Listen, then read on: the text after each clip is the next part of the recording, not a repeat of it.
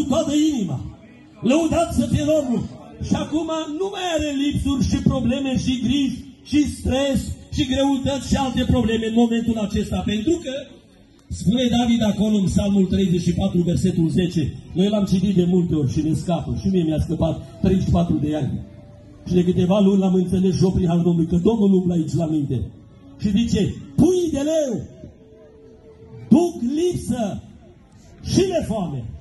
Și încheie versetul, da, aleluia, spuneți amin, că aleluia înseamnă lăudat să fie Domnul.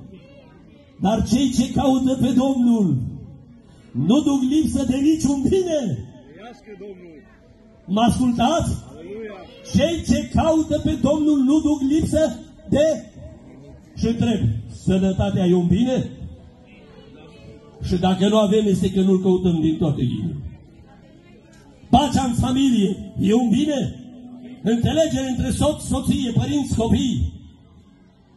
O, cât de mult și-o doresc liniștea de poți să te duci să dormi. Că David zice, eu mă culc și adorm. Mai ascultați sau nu mai ascultați? Uitați cum inima voastră nu e aici, vreți să vă asculte Domnul. O privire, un gând. Și Domnul e gelos.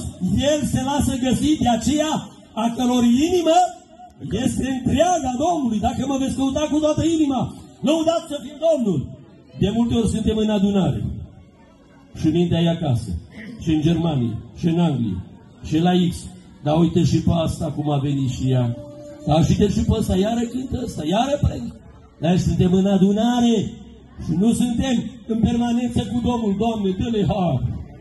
Doamne, ascultă rugăciune. Doamne, cercetează în tot timpul. Binecuvântat să fie Domnul. Când Zacheu l-a căutat cu toată inima, oamenii vorbesc o situație grozavă cu o persoană cea mai importantă, cu Isus